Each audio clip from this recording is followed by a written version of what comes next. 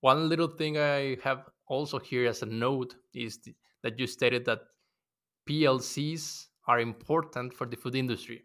So let us know why did you got that idea or why are they very important in the control and automation of food industry? In chemical engineering curriculum, there's a little bit, there's a taste of controls and automation. You know, at least in my, at least at Davis, we looked at transfer functions. We did, you know, planning with Laplace transforms and stuff like that. And we did a little bit of work around controls and automation and that kind of stuff, but it was really just one class and it barely even broke the surface.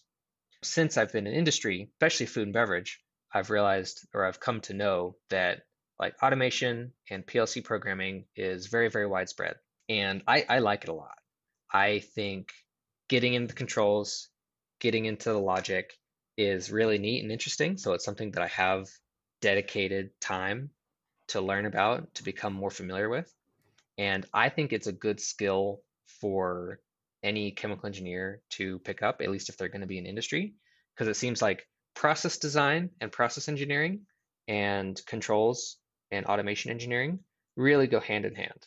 You know, I size the pumps and the valves and the tanks, and then we get a programmer on site that writes the code that runs the pumps and the valves and feeds the tank.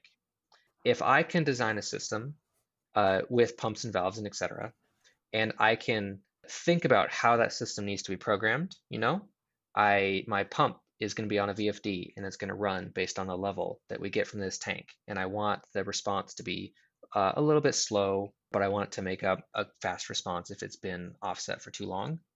If I can describe that to the programmer and I can help them write the code and tweak out any bugs, then it makes my life easy, it makes their life easy, and it ultimately results in a higher quality process design. Everyone is happy then. Victor, it's very interesting because I interviewed one friend of mine, I think two days, maybe three days ago, and he's also working in a food industry company. Let's say it's called Puratos in Belgium, and he told me the same thing on automation that he sees a lot of automation things going on. So that's why I wanted to make an a little note on this. So it's funny to find that the food industry finds PLC control, automator, all these things a very crucial role. So thank you for sharing, Victor. Check out the full episode at chemicalengineeringguy.com slash forward podcast. I'll see you there.